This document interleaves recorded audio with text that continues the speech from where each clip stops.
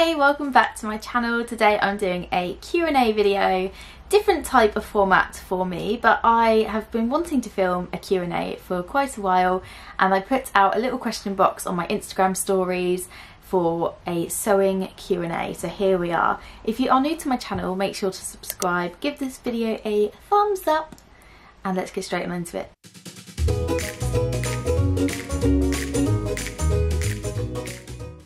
So welcome, welcome, welcome, welcome to my channel.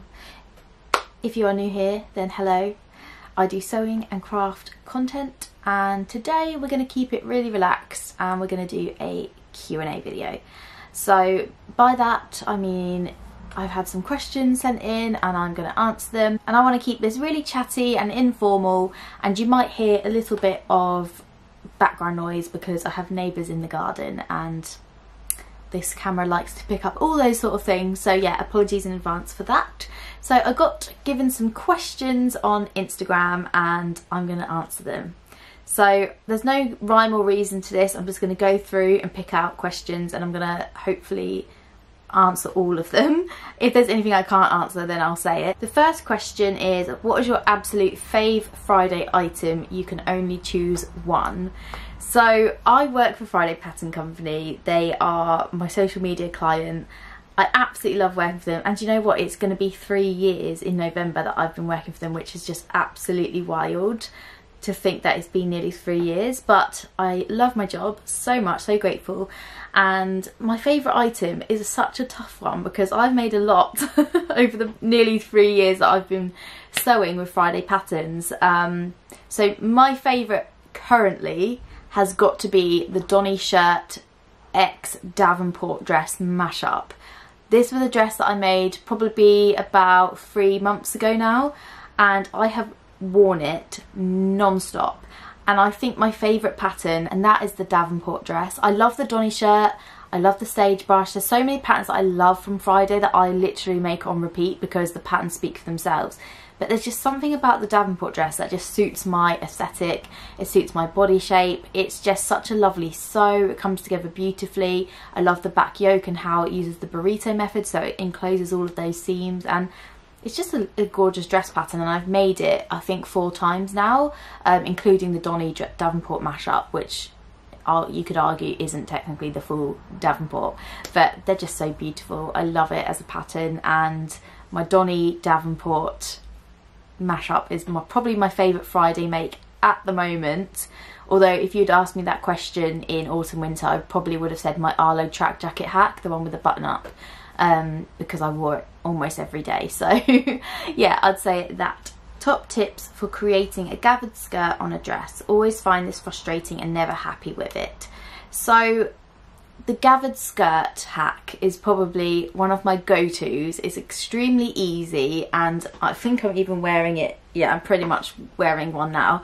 So to create a gathered dress hack or a gathered skirt in general, most of the time, most patterns or most hacks would require just a rectangle of fabric that is gathered on the top edge and sewn into something or sewn into a waistband or sewn into elastic or something for example if you're making a skirt. My top tips, so number one, don't slack on the amount of rows of gathering stitches you want to make that's fine if that's how you roll but I would 100% do two parallel lines of stitches and sometimes even three if the fabric is like a viscose or something really slippery then do three layers three rows of gathering stitches on your machine if you don't know what a gathered stitch is it's a stitch length that's between four and five, so quite a long stitch length. And you leave the tail of the top and bobbin thread out at the start and at the end, so you don't back tack at either side like you would if you were sewing any other seam. You leave them open, and that way when you pull on the bobbin thread, you pull it like that and you pull the fabrics and it gathers that fabric. So if you do parallel lines of stitching, I'll try and overlay some footage of me doing some so that you can see what I'm referring to.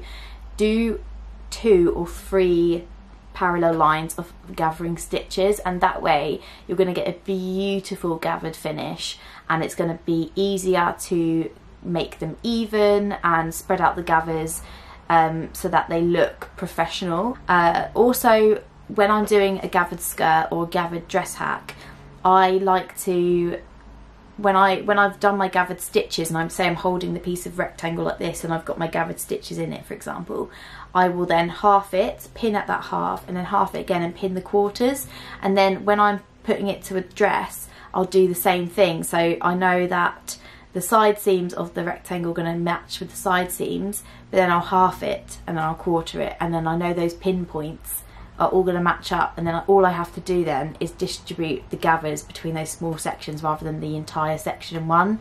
If you would like a video purely on my gathering top tips because I, where I've been sewing for so long I forget sometimes that these skills are something that I've practiced so if you would like a video on like a beginner friendly gathering top tips then let me know. How do you find time to sew? Good question. So I get asked this quite a lot and I think from an outside perspective it must look like on my social media channels and stuff like that that I sew a lot and although I do um, it's my job and it's why I tend to make a lot of Friday patterns because I have the the luxury and I'm super grateful that I love Friday patterns. When I got a job for Friday I was already sewing Friday patterns so it kind of was just like a match made in heaven and a lot of the sewing, sewing I do is to create content for Friday's channels and sometimes there's a little bit of crossover on what I share here but most of the time it is for Friday's blog and stuff like that. And then things that I make sort of for my own channel and for my own content that I make time for is because I work three days a week, two of which are for Friday, and one of the days is for ad hoc content, other client work, ads and things that I do for YouTube and then any other extra time within that day is for sewing. So for example today after I film this video I'm going to go work on the Minerva Ambassador project and film a video. So that's kind of how I get time to do it and then in the summer months I find it a lot easier but I'll come out to my studio in the evening and I'll do like half an hour an hour after Willow's gone to bed so that I can do a little bit of sewing but that's the sort of projects like at the moment I'm making a um, an Arlo track jacket for my mum and it's been in the works for since January, sorry mum. um, but they're the sort of projects that, because it's not work related, I struggle to find time for. So it may come across that I find a lot of time, but it's because it's always work related. Whereas if it's a personal project like that for my mum,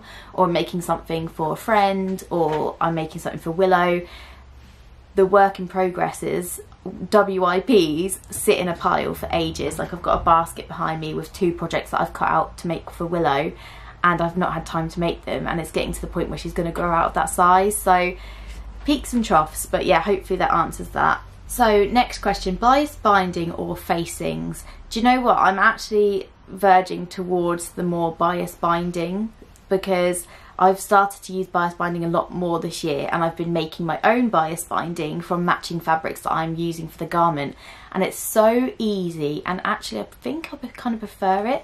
For example, I'm wearing the this dress. This is the indigo dress from Tilly and the Buttons and I hacked it to have a square neckline and puff sleeves but it's got a facing this is the facing.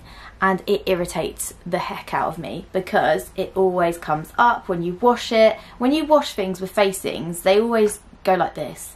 And it's so difficult to get them to lay flat. And I'm not the best at making time to iron garments after I've washed them. You can probably tell by my social media because everything's creased. Um, so yeah I'm I prefer a bias binding. When it's done when it's done right it looks seamless and actually so much easier to wash Tips for tackling blazers, they scare me, so I've never made one. So outerwear in general can be quite intimidating when you go from say sewing dresses and skirts and sort of relatively easier garments to something like an outerwear piece like a jacket and understandably because it's like oh gosh it looks so wild the sewing steps a lot of the time are broken down into easier to digest chunks so my top tip for this would be make a toile. So get a fabric that you don't care about, whether it be an old bed sheet, and practice. So something that you don't care about. Don't go straight into cutting out your beautiful fabric and hoping that it's all going to come together okay, because sometimes mistakes happen. I am a, I know this from experience. When I made a raincoat, I did the zipper on the wrong side, all this other stuff. So things can happen when you're making that go wrong, and it's okay to make mistakes. That's literally how we learn to better it next time and I've made so many over the years. So work on a, a piece of fabric and toile the pattern first. Second of which, the Friday Pattern Company Heather Blazer is a great blazer to start with because it's not tailored. You don't have to fit it to your body and there's no fussy darts or fastenings. It's honestly ideal. Yes, it's lined, plus there's a video sew along. So if you're a visual learner, that's really great. And yeah, I think start with some really simple outerwear patterns like the Heather, like the Ilford jacket and those kind of things. And then practice, practice on scrap fabrics. How to start sewing. Good question. I get asked this a lot um, and it's so nice to know that I have an audience of people that aren't sewists but they want to become sewists after seeing what I'm making and that's really really cool. That's all I've like ever wanted is to get people into creativity and sewing and I have a blog post. It's a little bit older now so I might go in and um, make an updated one but it's um, how to start sewing. It's how to start garment sewing and it's a whole blog post that goes more in depth on this subject. If you are unsure about sewing but you really want to try and just see if it's for you but you don't want to spend over a £100 on a sewing machine, ask your friends and family. Does anyone that you know, your nan, your your parents, your um, friends, your siblings, whatever, does anyone have a sewing machine that you could just go around and borrow or take it home with you for a week and just give it a try? Um, and then you can see if it's for you or not because often you know it's okay to start a hobby and then decide that it's not for you. That's absolutely fine. I do it all the time. Do you enjoy it? Then in the blog post I've got a few kind of little details about how to choose the right sewing machine for you and all of that kind of stuff. Fave pattern company except for Friday Pattern Company OBS.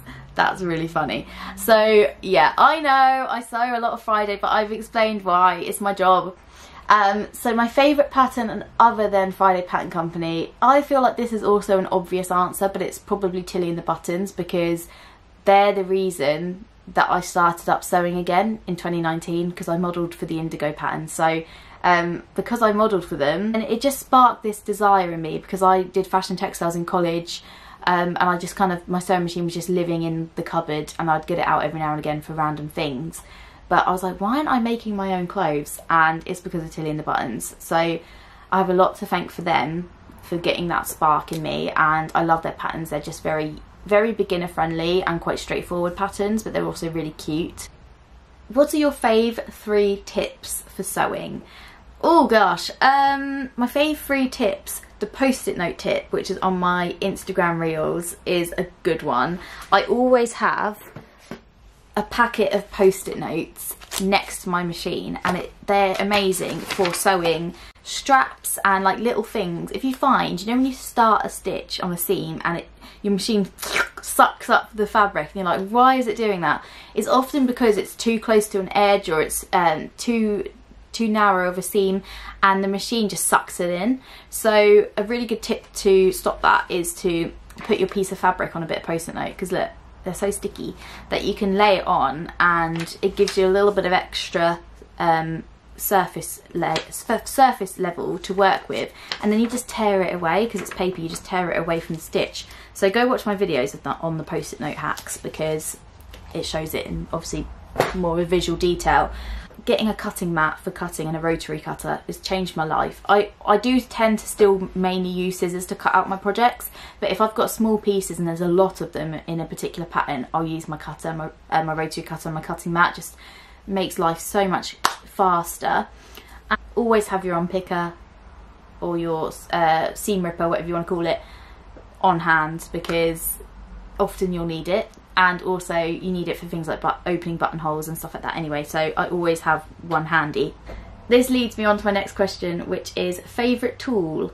My favourite tool is probably my sewing machine. It's cost me a lot of money and I love it and I don't know what I'd do without it so but then if we're talking tools like other tools then probably probably my unpicker I'm not gonna lie. Tools you thought you wouldn't use but actually love. Probably my clips. I'm not a massive fan of clips. I'm, I'm more a pin gal. It's either, you know, you're either team pin or team clip. And I'm a bit of both. But I, I did feel like maybe I wouldn't use clips. I just got them to have them handy. And I've, I've started using them a lot more actually. Another thing, I don't know what I thought I wouldn't have used. Usually if I buy something, I'm buying it with purpose. I don't tend to buy sewing tools for the sake of it. But I would say one of the things that has been so handy is a magnetic pin dish because I had a pin cushion and it was really annoying. And pins used to get everywhere whereas now I can use this and I can scoop up the pins off the side. And they all just stick to the magnet so yeah love it. Also I have an Amazon shop with a lot of the sewing tools and things that I use so I'll link that below for you guys um, if you're wondering and I've added like loads of things in there that I use myself. And then another one is show us your fabric stash if I showed you my fabric stash, this video would be about two hours long, so I'm going to save that for another video. If anyone would like to see my fabric stash, let me know. I have also considered doing a de-stash and selling loads. I hoard fabrics and if I, saw a really funny, funny meme, meme the other day and it was like, um, this is how fast I'd have to sew if I wanted to sew all the all the projects that I want that I had ideas for for summer they obviously worded it a lot better than that, but this is my brain. So it was like this person who going like sewing really, really fast. And it was because you're never to have enough time to sew all the fabrics and all the projects that you want to sew. But that just made me laugh. So yeah, I have a lot of fabrics. Last question then is can you knit and if yes, how did you learn as I'm finding it so difficult? So the answer is yes, but a loose yes. I can knit I can knit and I can purl in a straight line. I have attempted to follow a pattern and it didn't go well. So the only things I've ever finished that were kind of a pattern were some little boots for Willow. I, I genuinely cried when I finished these because it was the first time I'd ever followed a pattern that wasn't a straight scarf and I was so happy that I managed to make them for my, my, for my daughter. And yeah it was just an emotional time.